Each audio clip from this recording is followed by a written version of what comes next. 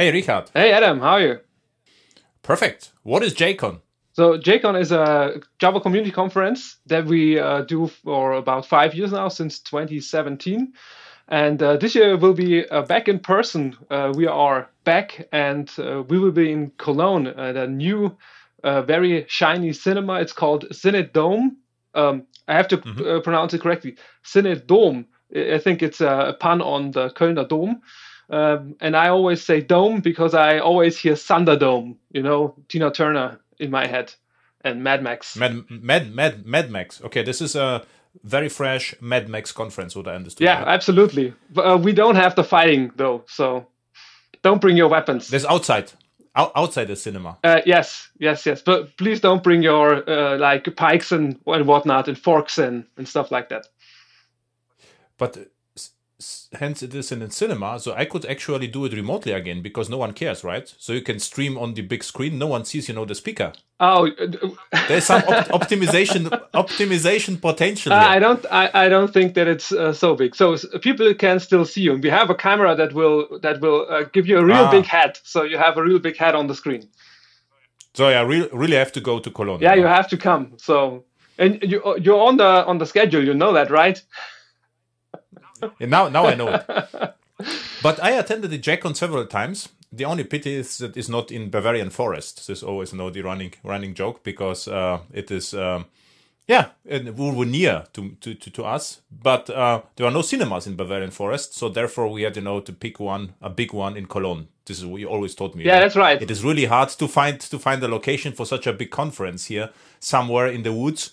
So you have, you know, to go to Cologne, and and back then it was in Düsseldorf, I think. Yes, right? because it's not only a different uh, difficult to find a good location in the woods, it's also mm-hmm. difficult to find one in Düsseldorf. So we moved from Düsseldorf because uh, the cinema that we used before um, was at capacity, and now we have a really nice uh, cinema in Cologne, the the Cinedom, and it's it's really great because it has uh, really high ceilings and it's very open. It has a lot of light, so it's uh, it's a very new and very shiny cinema, and uh, it will give us enough space to do the hallway track, which is is very important for us.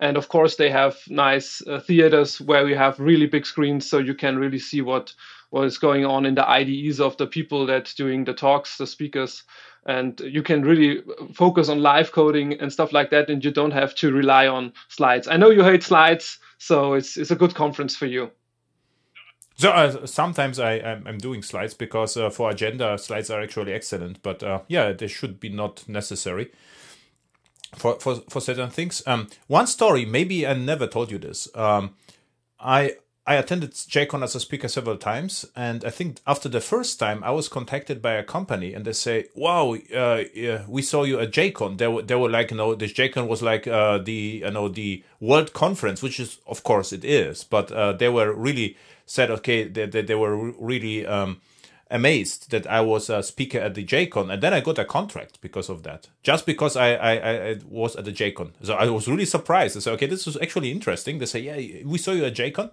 So cool, and um, so um, I will go to Cologne and expect a different experience for me. You know. Yeah, super. Uh, it's great, great to hear that, and uh, of course, it's good when uh, people that uh, invest in the conference, as uh, speakers do, with their time and and their expertise, uh, have something from that. So I love that that's that's cool. Mm-hmm. Yeah, and uh, what I have also have to say, um, this is we switch a little bit just for you, you know the the order of events here at the airhacks.fm, but uh, I was in your headquarters, uh, in your company once, uh, or multiple times actually. And what you showed me, you know, the Sun Microsystems machines and the Java logos everywhere. Yeah.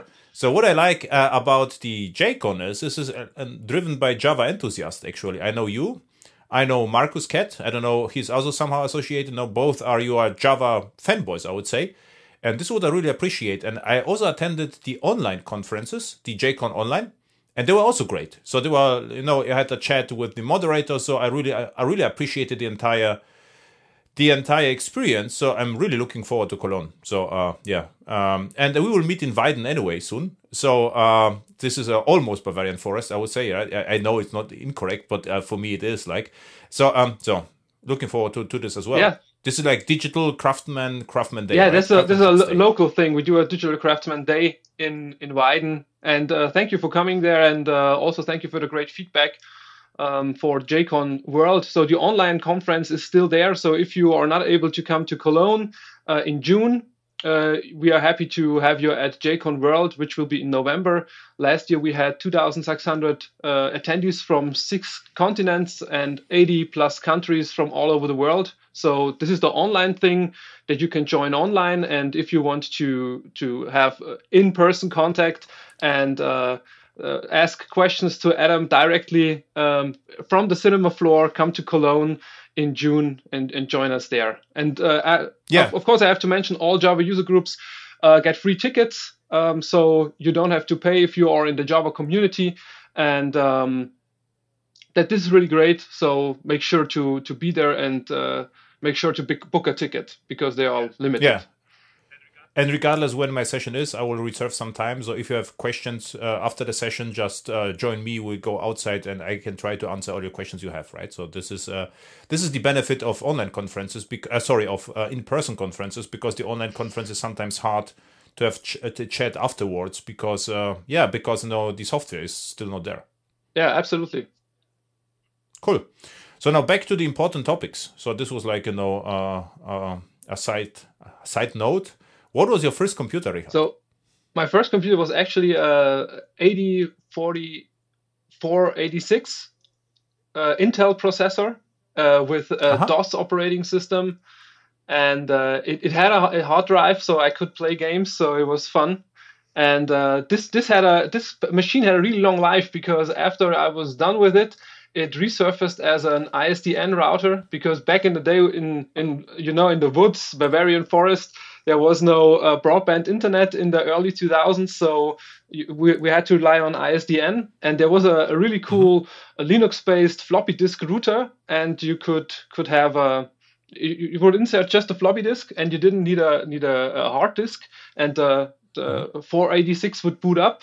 And there was an ISDN extension card, a PCI installed, and then the whole family could use the internet, and we didn't have to fight about who who gets the ISDN connection. So this this was, Ah. was great. Yeah, exactly. And this ISDN is German ISDN. I think it is done. There's no more ISDN anymore. It was like uh oh, was digital actually. There's I think there's a Ah. digital version for uh, compatibility reasons for people that still rely on on systems Okay. that need ISDN. Yes. Yeah, and before ISDN there was uh, the normal collection, connection, and ISDN had the uh, um, I think the um, the advantage that you could have multiple numbers. I remember right. This was the big advantage of ISDN. Yes, multiple numbers, and you had two channels with uh, uh, 64 uh, kilobytes, so you could Yeah, exactly. use dual channels. So you had to pay twice, but it was twice as fast. And you had a, a, a D channel, which was only for like uh, system communications from the, the, the phone provider, but you could hack that and could chat on it, so you don't uh, didn't have to pay. Nobody heard that. I never did that, but yeah, sure. yes, it was possible. Yeah. What I had, I remember right now, my very first, uh, how it is called, um, internet connection for my server was ISDN actually. Oh wow! So I, I yeah, uh, I, I bought it prior to 2000, something like this, and it was exactly the same. So I had, you know, the ISDN card without the router, and then used a Linux driver. And th- this was a long, long time I actually used the ISDN until DSL was available. But this worked well. This must have been very uh, expensive. Ah, it was uh, uh, two three hundred euros a month or something like this. Yeah. It was not. Uh, it is crazy, but uh, for business okay, I would say. Yeah, this was the time when you when you could get a flat rate. There was there was some time when there was Yeah. like you had to pay by the minute, and this was this was annoying. No, no, by the minute. I, I got a flat rate and I had uh, to pay for the uh, no static IP address. Mm-hmm. And yeah, but this is uh, far less expensive than Kubernetes, for instance, right? Absolutely. okay, very good. So, um, are you that young, or you started, you know, that late? Maybe both, but no, I Both, I, I think exact- I'm actually that young. Yes, but uh, it was. Yeah. Um, I would say this was 19 early early 90 uh, 90s. So yeah, m- maybe Ah. 1993 or so. You're right, because uh, the 486 prior to Pentium, it arrived 1992 or something. It, it was So I didn't start it that much earlier, but uh, this was like you know, um, like you know, two years earlier you had you know these Commodores or whatever, and this I would say 1991 was the time where everyone uh, migrated to PCs from from yeah. This is okay. So um, yeah, interesting. And what you did? What was the first action with the computer? uh, just playing games. It was Which what games? Uh, I did all those those uh, DOS games, so Commander Keen or Prince of Persia, the DOS version, or Yeah. like Prehistoric was a game called Prehistorics. You had to bang up uh, dinosaurs, stuff like that. Just jump and run, and Yeah. some summer games, of course, and and all that. Doom, of course. joystick destroyers. Yes, yes. Jo- joystick destroyers. Absolutely.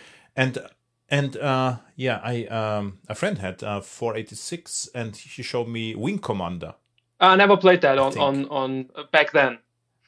i i, I was uh, actually completely uh, excited uh, but uh yeah but i never played that but i know that it run on 486 and then pentium came. Okay so you started to pl- to to to or started you played games. What happens then? So how what is the transition to programming or scripting or bash scripts?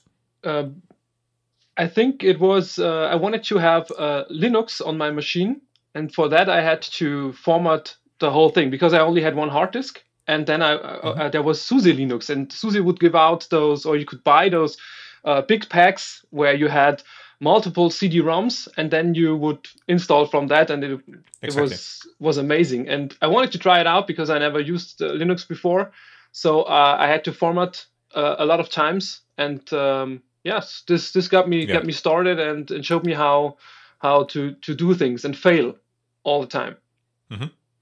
why you wanted to try out linux I was just curious. I just wanted to to learn what's what's possible, and and of course, um, it it wasn't that easy to to do something with uh, with DOS um, or or the early Windows versions, and uh, Linux was was for me more accessible. but how you got the idea? Because uh, you know if you if you just played games and linux was like there, there were no games not even you know a great graphical software like i don't know Paint paintshop pro or something was not available at linux back then. So uh, i don't know was it a friend or I, I mean you know how to get the idea to linux? Because in my case uh, I wanted, I, I needed a compiler, and Linux was free, and Windows was expensive, so it was uh, easy for me, and I was excited about Unix, and I hoped it looks a little bit different to Windows. So I said, okay, maybe it looks different or whatever. So what's in your case? I guess it was from the from from the router because I saw that you could build something really cool and it, it would fit on a, disk and it was also it was free. Of course, this was one of the parts, but I think the I think SUSE Linux was free, but you had to buy like the the CD-ROMs to to install it.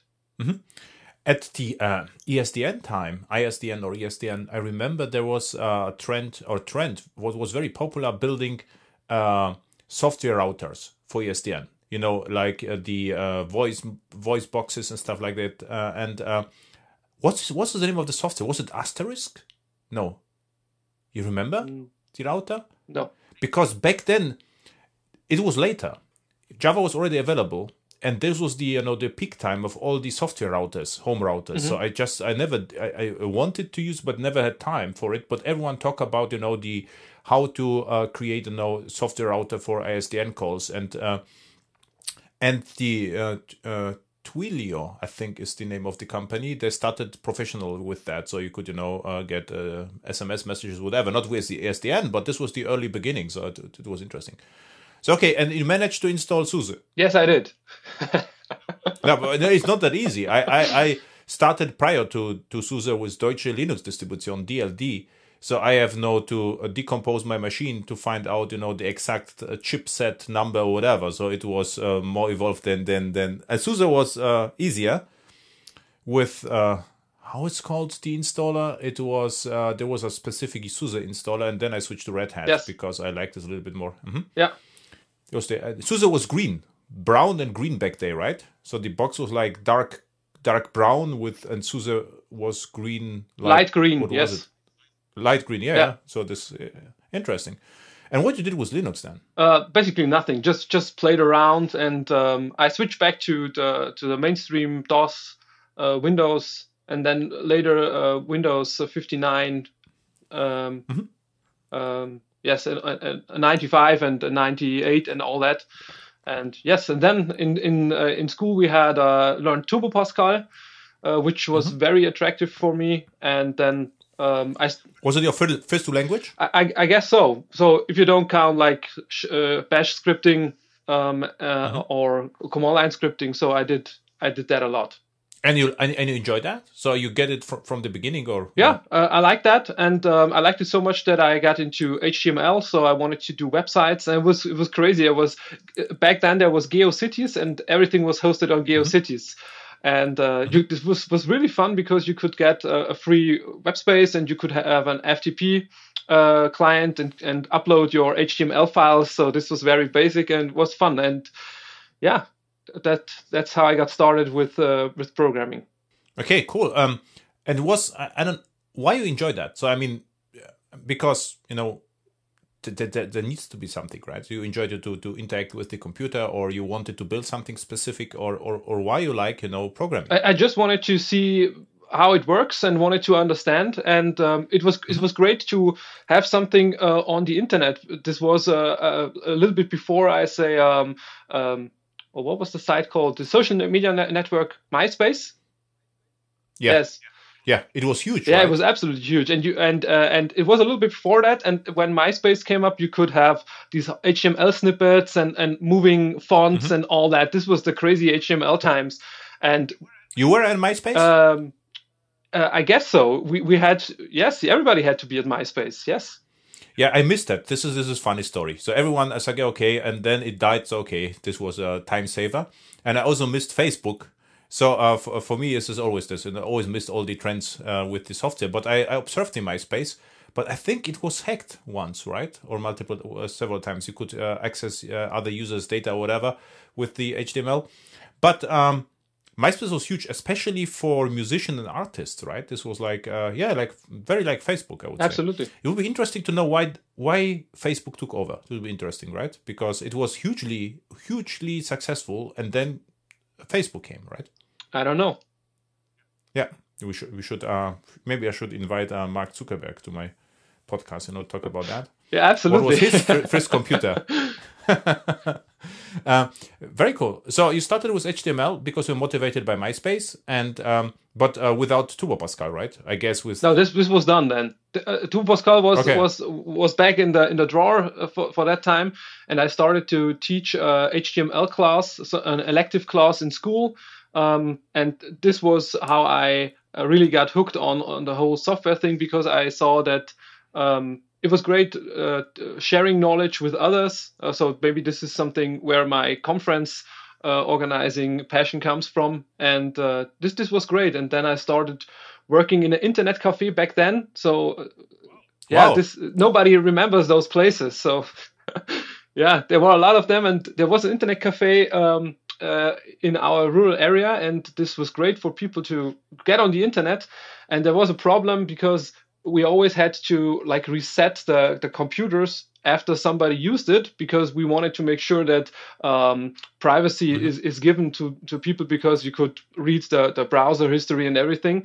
And so I serverless computing almost. Everything is reset you know? Yes yes. I, I and I, I tried to build something like that to uh, to automate uh, the reset of the of the workstation.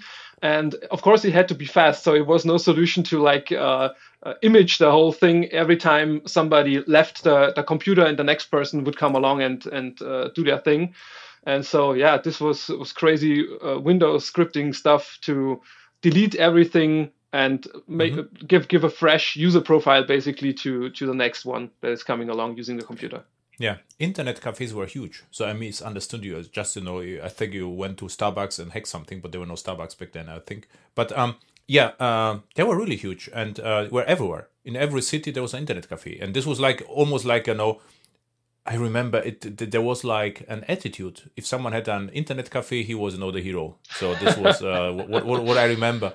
Um, yeah. Um, yeah, cool story. And this was uh, everything uh, was in Weiden. Uh, no, this was an even smaller town. It's called uh, this internet cafe was in Erbendorf, so it's uh, way smaller. It's uh, uh, and and is it a, proper Bavarian forest or still not? Nah, no, no, not what you. Okay, for people that are not from here, this is Bavarian forest, but for us, this is not Bavarian forest. So yeah, but it's like difference of thirty kilometers at most, right? Yeah, a little bit more, but yes. Okay, so something like this. Okay. Um, and uh, for, for people who are listening and wondering why I'm speaking about Bavarian Forest, because I really like Bavarian Forest. It's a great area. This is like uh, German Canada, I would say. It's a little bit quiet and uh, and nice. And uh, yeah, this is why. And and the Weiden, where the conferences take place, is very close to Bavarian Forest. So uh, I thought, okay, this is Bavarian Forest. And Richard says, no, no, no, we are not Bavarian Forest. So this is a pity. I, I would just, you know, rename it to Bavarian Forest. So this is like what, what happened between us in Java user group Weiden. Okay, it's also nice if you can attend Java user group. Group uh, Weiden is also organized by Richard here, right? Yes, and we still not call it uh, ba- Bavarian Forest user group. Still, uh, no. it's Java user group Oberpfalz actually. So we try to be inclusive, but Bavarian Forest is also in Oberpfalz, so it's included then. Ah, okay, very good. So um, what we had. So you started with HTML. You give HTML classes without a server or use Apache, I guess, back then, right? Oh, it, it was uh, without a server. So the classes were uh, just on uh, like HTML files that you would open with a browser. There was no like P- Netscape. Uh, Nets, yes, Netscape, um, uh, Internet Explorer, and there was no PHP uh, or server-side scripting involved at first. So th- this was like there were like three times I, I'd say for JavaScript. There was the time everybody had JavaScript on, and then was this what a time where everybody had JavaScript off, and now you need JavaScript again to run your web pages. And this was in the glorious time where everybody had JavaScript on and got hacked all the time. Yeah, you remember Netscape Compo- Composer? Of course, I, I used it. Yeah, this was Netscape Composer or Netscape Navigator, and the messenger. What was the name of the messenger oh. back then? Netscape Mail or something yeah. like this. So there was a mail, there was like a Netscape suite. So you got also a big box with CDs, and you can install the Navigator. Then the Composer was like an editor, so visual editor, and then the uh, mail system, which became Thunderbird later. But I don't know what's the name of the origin Netscape software. Netscape Messenger, I think. Netscape Messenger. I don't remember. Sounds sounds good. But they look also great. The, the entire design, you know, with the uh, lighthouse, I really appreciate it somehow. It it looked really nice uh, the Netscape software. Absolutely, and it it was uh, Composer was way better than uh, than Front Page. Front Page yeah, introduced yeah. so much tags and so much so much uh, unnecessary so- source code, and uh, Composer was really clean. So the what you see is what you get. Experience was really really nice. Mm-hmm. But it crashed sometimes. But uh, beside that, it it really worked well. So and, and you teach classes at school or where? Yeah, at school. Back then. Yeah.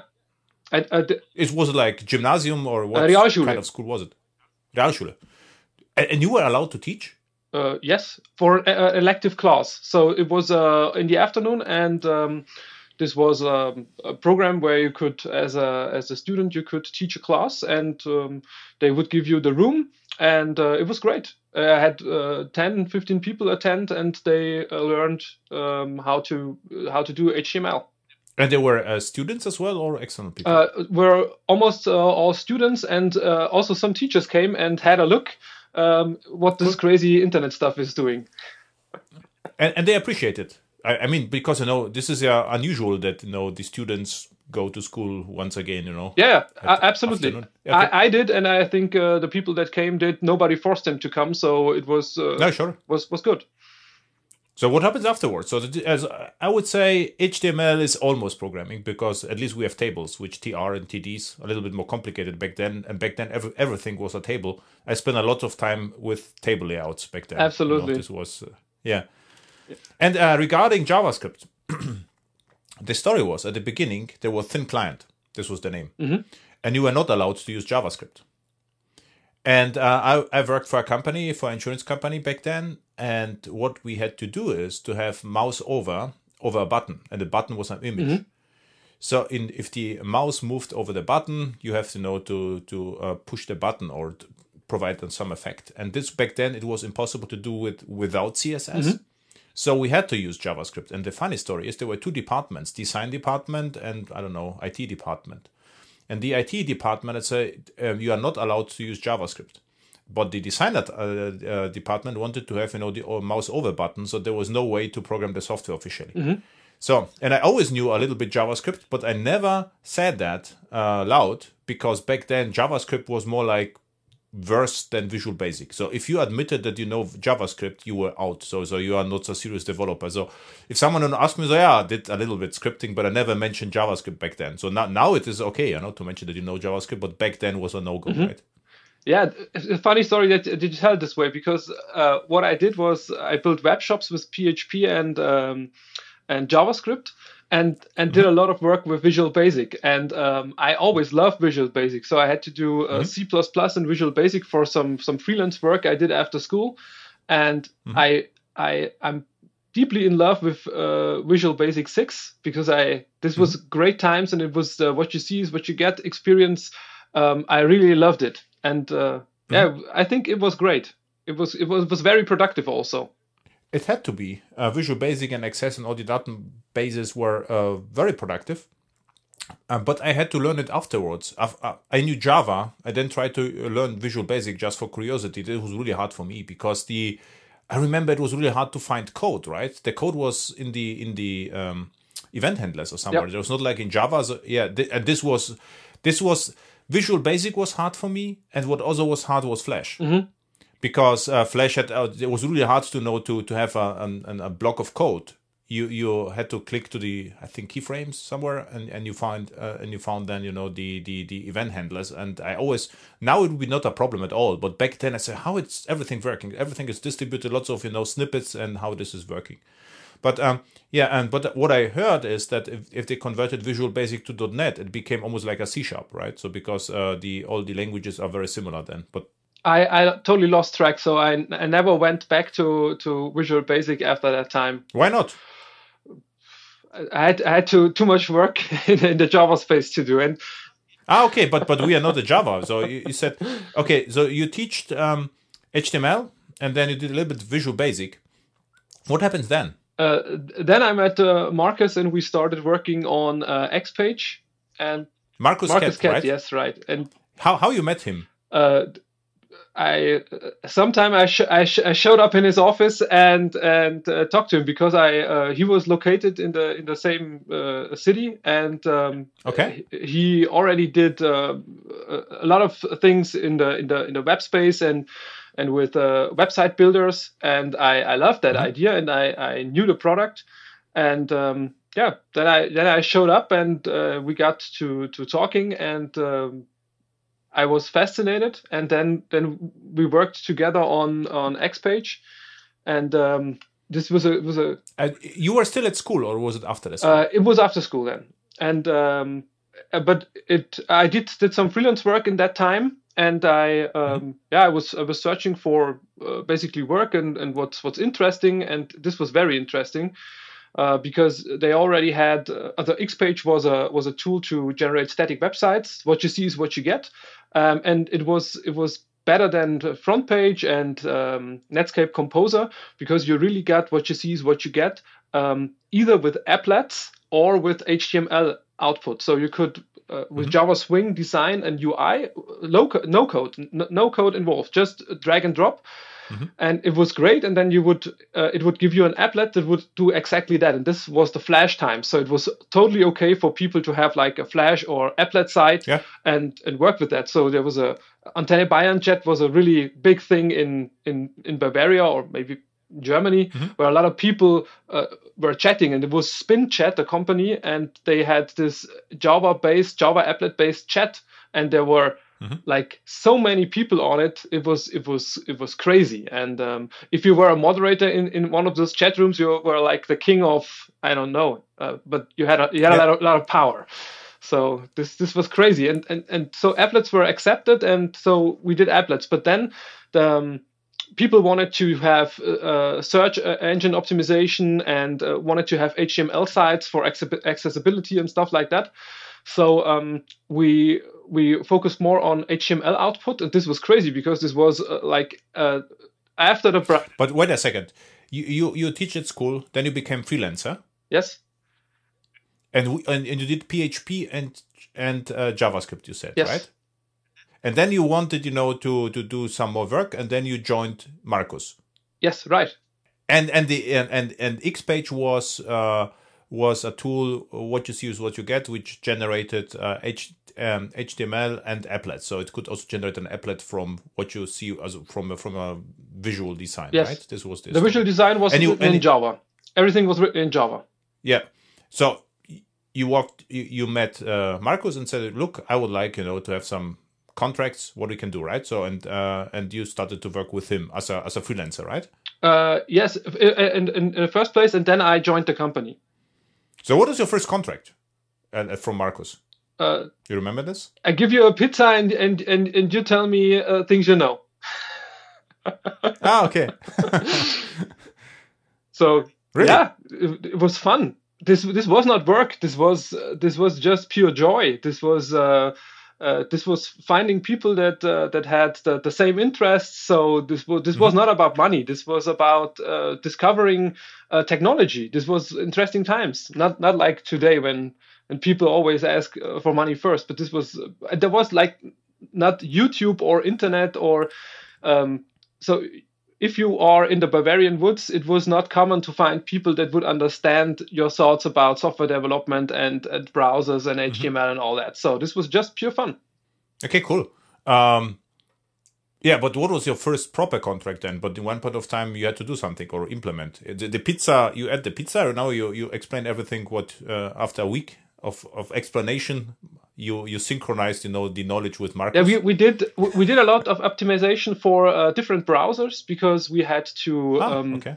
our HTML code was uh, not not uh, uh, not nice anymore uh, at, uh, after f- uh, a f- a little bit time because we had to introduce proprietary attributes for uh, Netscape or Konqueror or Safari or Opera uh, because Internet Explorer was dominant and um, but Internet Explorer would render things differently than uh, let's say Netscape. And it, and we had uh, the positions weren't right anymore and so we had little offsets and we had to calculate those offsets and there were proprietary uh, uh, attributes in the html tags that would only be interpreted by let's say netscape or later firefox or whatever and then we had to render those into the html uh, source code. And the html source code got a little bit bigger uh, with that but uh, with that we managed to have the exact same output for every browser. And this was like the the, the unique thing about xpage or xpage that we could do that. And you would design it once and it was a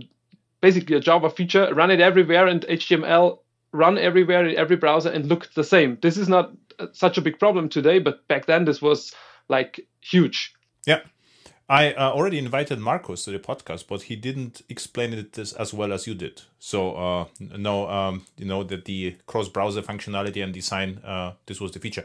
So, actually, Xpage should really take off then, right? Because if, if you think about this, it was, uh, it was, it did take off it should be larger Uh, than, than, it, than it was, oh. right? yeah it was for us it was fairly large so we had over uh, 2000 uh, 250000 uh, confirmed or registered installations. And it was one day i was at the at the newsstand and there was this magazine. So computer magazine and pc magazine and chip and and what you got. And um, so Markus, he's the the the, the business uh, guy, and he had uh, great ideas. So he would make a deal with the with, with the, the the the magazines that they would get uh, a copy of Xpage for their C- heft for their for their uh, magazine CD, and Xpage was on these CDs, and this was great. So this this was cool to have to see that the software you built was on actually on Yeah. CDs. So Which year was it?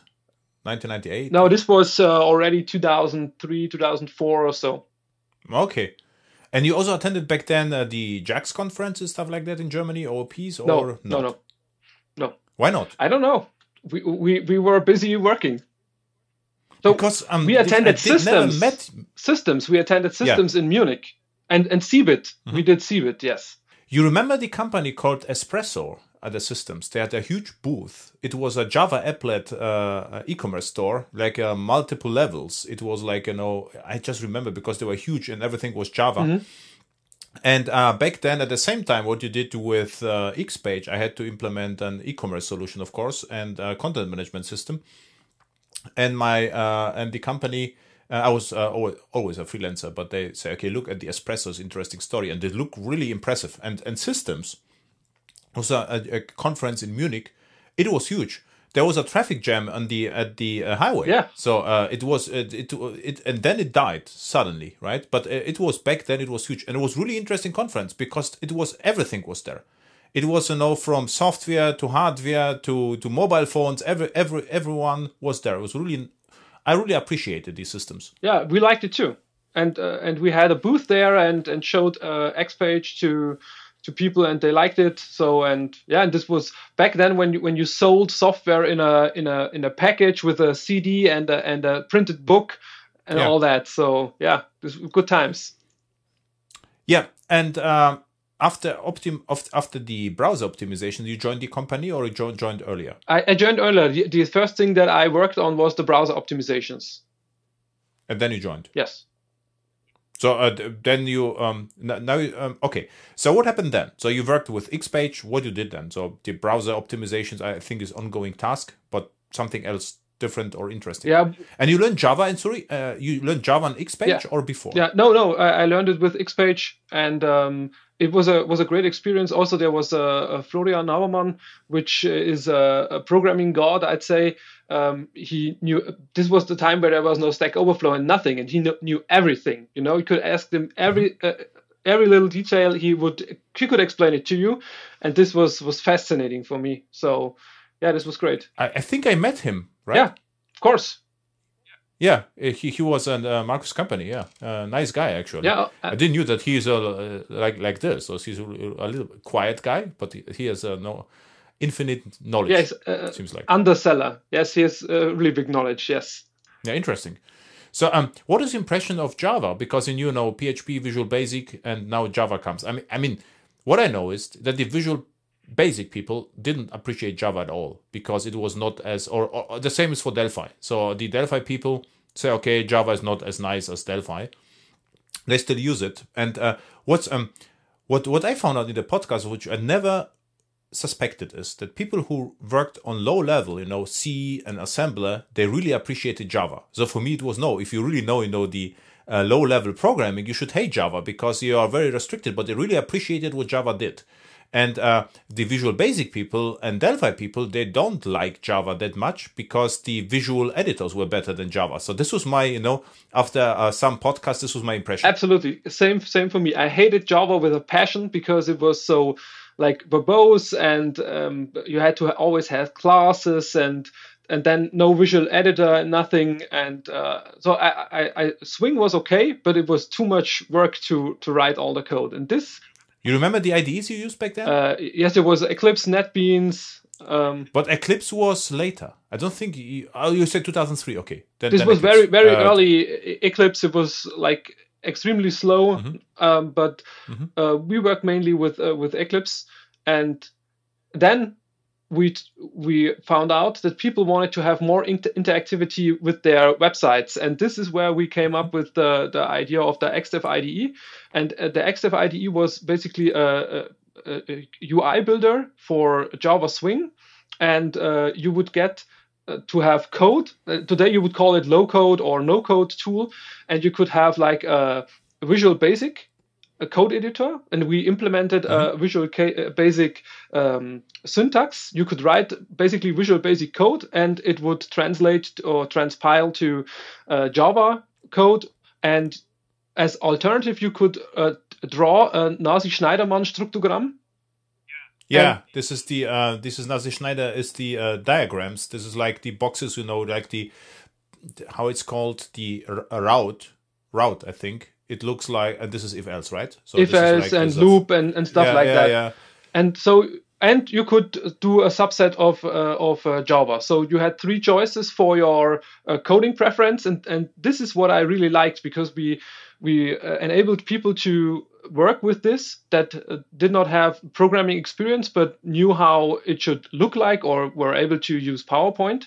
And with this, we brought a lot of people from other technologies to Java because this was finally, in my experience, likable. Because I like this. This was like Visual Basic, but with way more uh, possibilities. Um, if you if you say such a thing, right? So for me, if I if if I think about it, it's like Mission Impossible that you can actually build such a thing with a smaller team. How big was the team back then? Uh, four people. and how, how long did it took you know until the first you know the prototype? Oh, maybe for, for the first prototype uh, a year or so. I, I don't know, Mhm. but it was fast and it But this is it was still incredible. it was very agile so we we did not know that we were doing like uh, agile development because it was was it was absolutely clear to us how to work so we would always work like hey this is a good idea let's try this and then you Yeah. would fail and it was very fast feedback and we were sitting in the office um, basically every day until late at night discussing programming things so this was uh, this is like a, a gone era for me so yeah Same same here. So I, in the e-commerce, so we just brought the software, right? So and and because we are afraid that uh, we introduced too many bugs, because refactoring even back then. So I started a little bit earlier. Not even refactoring worked, you know, um, uh, well enough. So we just you know implemented a small feature and tested this immediately. So this was and and then as Agile came out, I couldn't understand what they are talking about. So and and after, as as as as uh, waterfall uh, uh, came out, so I thought I thought I'm too stupid. So I said, okay, this is I and I'm not able to draw a diagram, you know, upfront and to make it work afterwards. Because if I started to code, I always forgot something. It's like, oh, I forgot this box and this box. I went back and then and then it's okay, this is not for me. I'm I'm just not too smart, you know. Um, I have to do something different. And then as Agile came again, so I just you know uh, talked to to my project uh, um, managers. Uh, we do Agile to get rid of waterfall, which was uh, because if you think about it, this is what I talk. You know, um, now I know waterfall is almost dead, but what uh, what what I observed back then is in in nature nothing is waterfallish, right? Everything is agile. So whatever you do is agile. So only in software someone got the idea that, that we have to do waterfall, and uh, and this was a mistake. Absolutely, yeah, This is incredible. Uh, this uh, and this Xdev is still around, right? yeah. Uh, when you go to our website xdev.software, um, you can still download it, and we we worked on it um, uh, on the last months to make it compatible to Java 17, Java 21. Um, yes, this is still around, still works, and um, basically the the, the, the, the motivation for it uh, was to bring people to Java that used um, Fox Pro, Oracle Forms, Access, FileMaker, all these tools that had some limitations, and people put so much work and had so so great solutions in them, and they were not able to reproduce this with Java, but they needed to go to Java for um, licensing reasons. They built some people they built amazing software, not software developers. These are just regular people. They ju- they they just built it, just did it, and they had a software, and the whole company was using it. And then they want to roll it out to the whole company um, worldwide, and it would cost um, a lot of money to buy access licenses for everybody, so they didn't do it, or something like that. Or in they had some memory um, or, or disk space limitations for their databases. And then they wanted to migrate to Java, and XDev was perfect for that. And also giving you all the libraries that Java had. So a lot of people were doing CRM systems or something in, in that space, and they only, always wanted to hook up to a telephone system to to uh, to get notifications of incoming phone calls or to call directly from the screen. Um, to of course to a telephone that would stand next to them. This was before nobody had a telephone and yeah this was was was a great time and there are a lot of solutions still around that use java swing. There's a crazy ide um, from a crazy uh, company that use swing to build their ide and um, we did the same. Um, but we always got like bad press for using using swing and everybody was pissed. Uh, only people that know about swing. People that don't know that it's swing they love it. But IntelliJ is also based on Swing. yeah right? that was was my reference Okay, uh, because uh, everyone said, okay, uh, Swing looks bad. It's like, uh, what's about IntelliJ? Looks great. It's like, yeah, but the Swing. It's like, oh, uh, yeah. Yeah. So I, I always liked Swing, I have to say.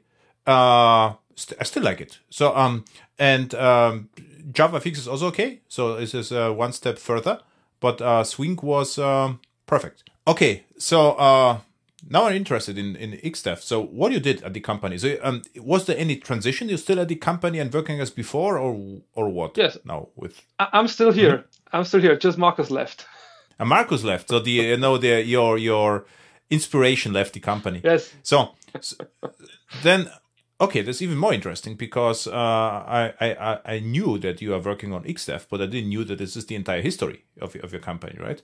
So um uh or, or your company, uh, your history with the company. So um you you said back then you started with XDev and XDev, XDev was IDE to enable non-developers you know to to do more Java. Um, was it successful from the beginning? No, not not from the beginning. So we had uh, we had some uh, customers that would use it, and of course it had uh, it, it, it, it, the word had to go out, and it was. Um, yeah, it was difficult because we were up against uh, like companies like Oracle or uh, Microsoft, or yeah, that were enabled. They had uh, they had a lot of tools, and yeah, but um, we we tried to make it obvious that we wanted to do the right thing. So we made the software or the the, the frameworks beneath. There was a mm-hmm. there was a, a, application framework that we provided with a solution. Um, and it was open source, so people could could see what we did. So people could. What's the name of the framework? Uh, XAPI. It was just XAPI. Was, okay. We, we weren't good at naming, but uh, and this is also around. It's on GitHub now, and uh, people can look at it. And it, we retrofitted it a little bit to work with uh, Java 17 and now and uh, Java 21. And uh, yes, but people built a lot of uh, stuff with it, and they wanted to be sure that um, this would still work in the future. And um, this, I think, this was a big selling point that we provided this as open source, and people could really uh, see that and uh, were not reliant on us because everything we did was just we just generated code, and it was all in the end plain basic Java code, and it was this this code generator was really nice, um, and you could just compile it with uh, javac and work with it, and you, you didn't have to rely on the on the whole uh, software system or uh, that we built. And um, later, uh, customers migrated to IntelliJ or Eclipse or whatever, and and uh, and use that when they got more proficient with uh, Java Swing, um, and they didn't want to use the UI builder anymore. They did just that, and uh, everything still works. And of course, you can still use XDev because we still support it. So Xpage was uh, for HTML and JavaScript generation, right? Right. And applets, and XDev also generated the backend, or what? What's the difference between Xpage and Xdev? Ah, we we skipped the HTML part because this was was getting too hard to maintain that, so we skipped that. We mm-hmm. only did uh, WebStart, which I really liked, um, applets and yep. um, Java applications. So it was basically Swing applications.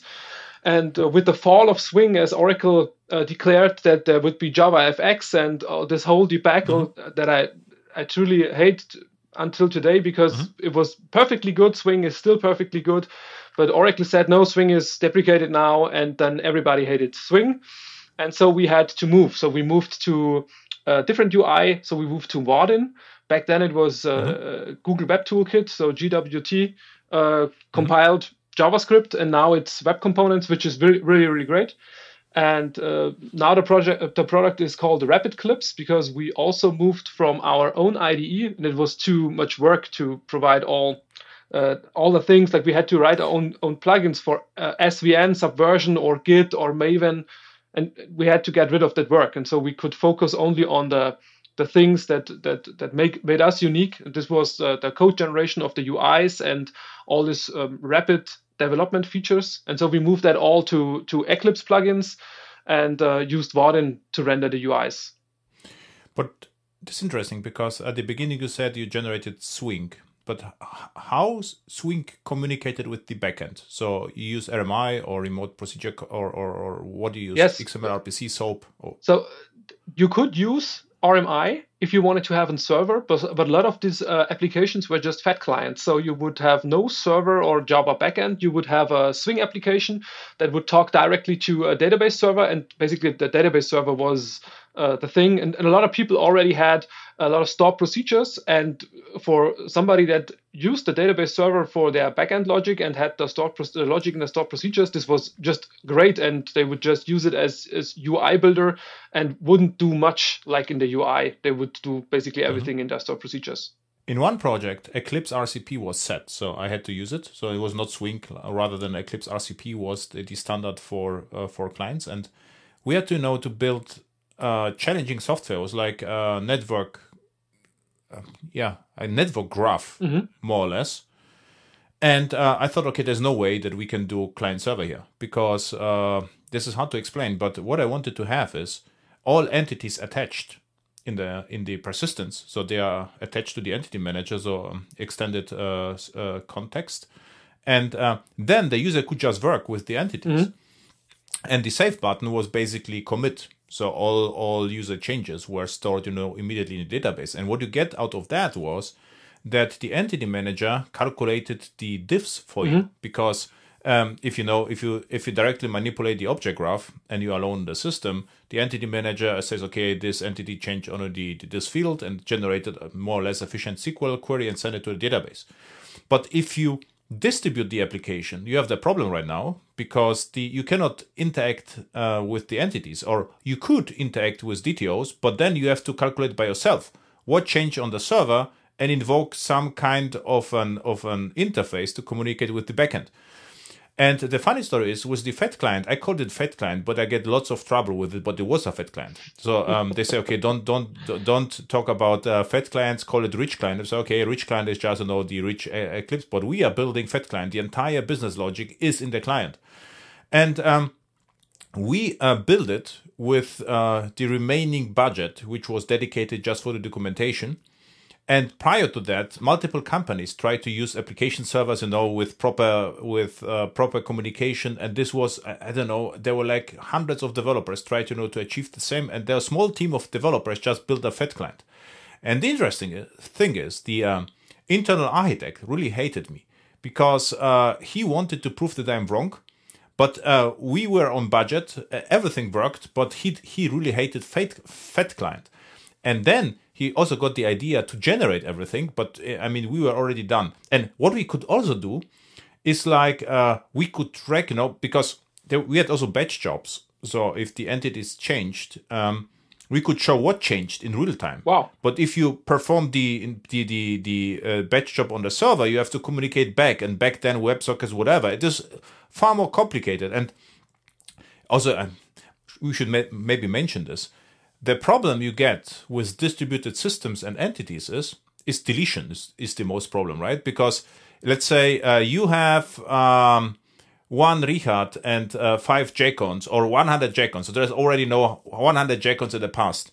And uh, you don't like to transfer to, to to transport all all the history to the client just a subset. Let's say we have then Richard is the you know the organizer and the three uh, recent JCONs.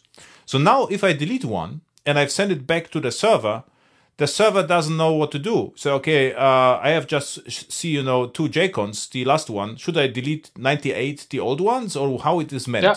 So you have to introduce your additional APIs, you know, to uh, to to um, to cover the corner cases. And uh, this is not clear at the beginning of a project. This is why so many projects failed back then. But with a FAT client, you would never have the issue.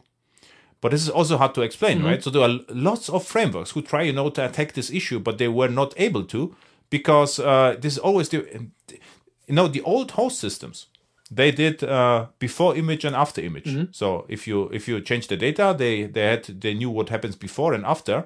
And in Java, we forgot about that, and you know there were armies of architects trying to solve this. So this is why I ask you. So in Swing, if you build a FAT client, it was, uh, I would assume, I never saw your software, but it should be perfectly interactive and very convenient. No issues with lazy loading. You know, you could always uh, load something lazy or, or eager. It doesn't matter because you you have you know the entities, um, whether it is Hibernate JPA or something similar, already you know in in the memory. Yeah, abs- absolutely. And um, of course, you had a lot of memory uh, because you could load a lot of data if you gave the application Yeah. like uh, one gigabyte of, of memory for uh, the, its own, let's say, da- data cache, or you load it for, from the Yeah. database. It was was um, very fluent, working, um, no HTML pages rendering, no JavaScript executing, nothing. This was just uh, lightning fast, and people still say Swing is slow. So, you know.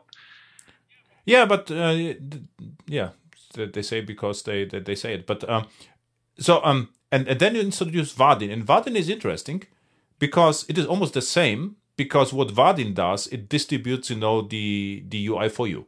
So it is like remote procedure code with a servlet. So you have the Vaadin components in the browser, and there is a Vaadin servlet, and if you change the state of the component, it replicates the state to the server, and for you, a Java developer feels like a Fed client, which was an interesting decision. Yeah, th- that's one of the main decisions why we did it because it's so much like Swing, and I, I love it. I still give talks today about um, doing just full stack pure Java, and it's it's great. It's like t- almost 20 years ago um, when you would just write uh, Swing code, and with Vaadin, this feels like um, it feels the same, and you get a HTML um, and a progressive web app and and everything you like, and they take care of that, and you can just write new button. Ah, perfect. Mm-hmm. Yeah. Um, and now you're talking, okay, the, uh, it uh, told me that the uh, newest version uses web components.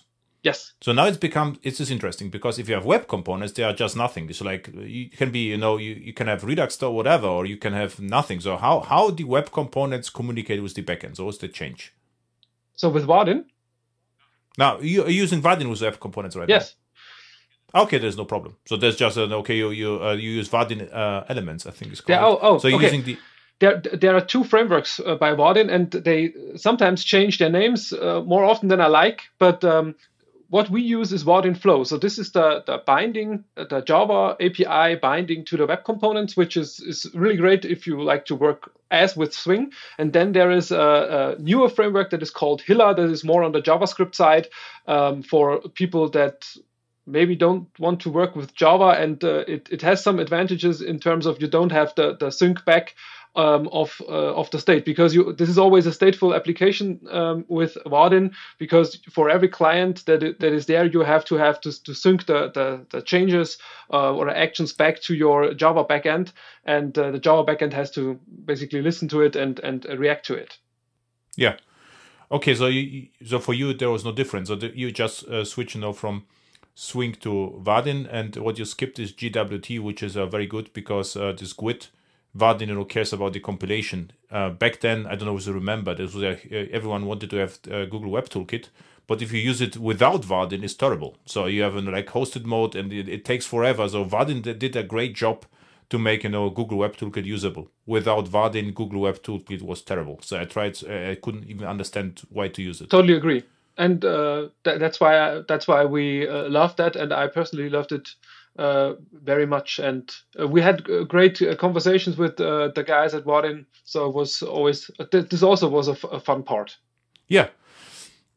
So um, I also worked with Vaadin once because they wanted me to enable CDI. So this was years ago. So I, I, I implement something Vaadin, and there was also nice team, nice headquarters. You were in Turku? No, I've, n- I've never been there was like a, a, power plant it looked like. So it's really an old old building. So it's uh, really nice nice people there.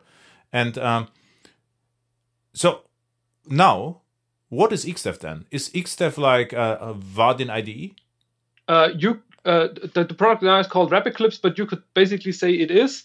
Um, it has this is at least one part. So we have this part that is the that, that provides the UI and the UI builder that generates the Vaadin code, and then there is another part that does um, uh, rapid application development, things for you, provides you with assistance that will help you generate code, data access code, so you can still use it uh, as a no-code tool. So you could have an, an basic CRUD application um, without any code. You just pull um, pull in on on the, the, the UI builder, and if you like to have like a data class, you would uh, there's there's a nice UI um, looks like uh, other uh, non or, or, low code tools where you can define okay i have a person this person has a name and and all that and and maybe a birthday and an address and what you like. And then uh, if you drag this on a table or on a ui it will g- generate you a form to enter all this and it will select the appropriate uh, input components for a, a date a date tag a date field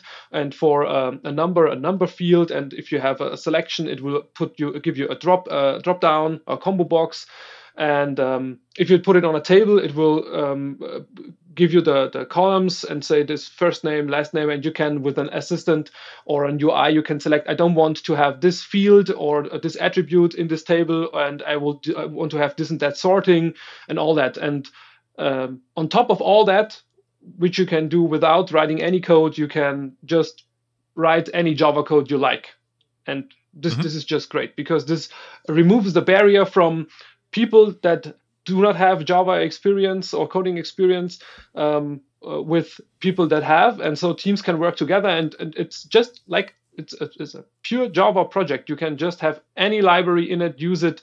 It's great. What is on the backend?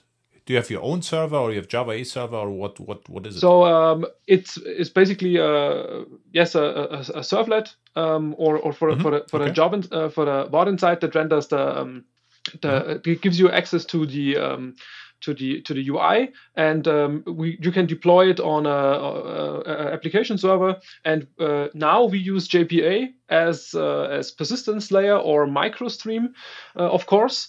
But um, back with XDev, we also did something crazy because we were always annoyed with uh, all the the SQL, and uh, we thought SQL was great, but we wanted to have type safety. So we basically did mm-hmm. the same as as jOOQ did, uh, Lukas Eder with uh, mm-hmm. Uh, the type safe SQL, and we had something called SQL Engine or SQL engine, and it was mm-hmm. basically mm-hmm. the same. You had a type safe abstraction, um, or Query DSL is uh, basically the same also um, over a SQL, and it would allow you to construct um, SQL statements without, and it has uh, database abstractions for a variety of databases, and it allowed you to uh, formulate your SQL statements in pure Java code.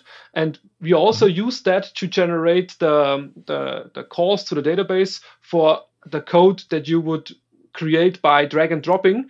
So it mm-hmm. was not just plain a, a SQL in a string, it was like real Java code that you could come back in later and edit and add maybe uh, uh, to uh, something to the where clause or or, or, or to, to a, a, limit or anything. And it was just pure Java code. And we kind of needed to do that to make it easy because people that don't know Java, they will make more mistakes in writing in a string that has no uh, support. And if we did it type safe, the IDE with uh, the code completion and all that would give you support. You would just put a put a dot and then you get code completion mm-hmm. and you can see um, can i add uh, to this where statement can i add something or can't i add something at this mm-hmm. point? and uh, we basically this is uh, domain specific language work and this was also very very interesting to to do that yeah, interesting stuff happened at XDev. So it's a pity that you never attended, you know, uh, conferences. So I, I, actually we missed, uh, I, missed completely Markus, and uh, also you. But you, um, so I'm I'm around Munich. You're around Weiden. Maybe there are 150 kilometers or something like this, or, or so it's not not not far away. Um, and um, so to to my understanding, so what you can do is uh, if you have a table in a database so you have a kind of abstraction, and you can say, I would like to talk to this table. And then you generate behind the scenes a JPA entity somehow. Yes. With queries, which are more or less standard, and you can just uh, use standard Eclipse in order to edit the entities. And then you can drop the, drag the entities to a web component uh, view, or uh, no web component view, to a view, and you generate the uh, web component table behind the scenes with filtering and everything, right? Exactly what we do. But this is actually great because this is like you know the uh, how to call it? The uh, Java no, no no code Java right? So just no code. So you shouldn't even call it Java. This is, this is what uh, everyone you know searches for. Low code no code solutions. Absolutely. Yes. This this is what we what we live off the last 20 years. Yes. Uh, one question to you because I, I, I lost the track to Eclipse a little bit. I just use uh, Eclipse indirectly with Visual Studio Code.